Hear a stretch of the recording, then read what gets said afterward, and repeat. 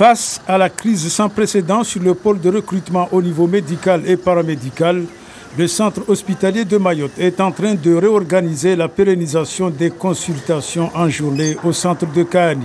Désormais, aucune consultation ne se fera le soir jusqu'au lever du jour le lendemain.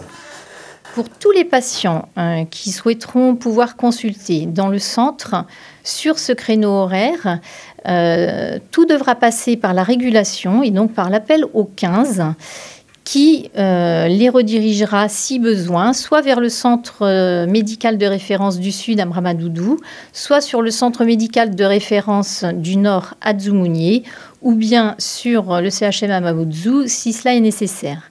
Cette nouvelle mesure est perçue comme un véritable coup de massue pour les patients, plus particulièrement dans la zone de Kahani, au centre de l'île. Lorsqu'on a une urgence et qu'on a besoin d'un véhicule rapidement, Comment on va faire? On va mourir On ne trouvera personne. Ce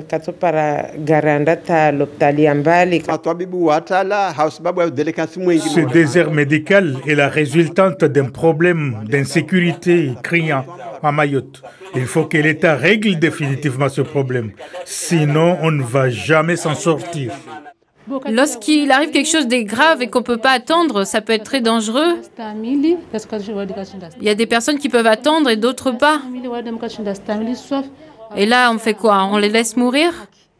En parallèle de tous ces changements d'horaire sur les consultations à Kahani, qui fermera donc de 19h à 7h du matin, le CHM a décidé d'élargir l'ouverture de Jacaranda à Mamoudzou. Donc Jacaranda sera ouvert euh, de 7h le matin à 17h, 7 jours sur 7, donc y compris le samedi après-midi, le dimanche, les jours fériés, de façon, là encore, à pouvoir assurer le maximum de consultations de médecine générale.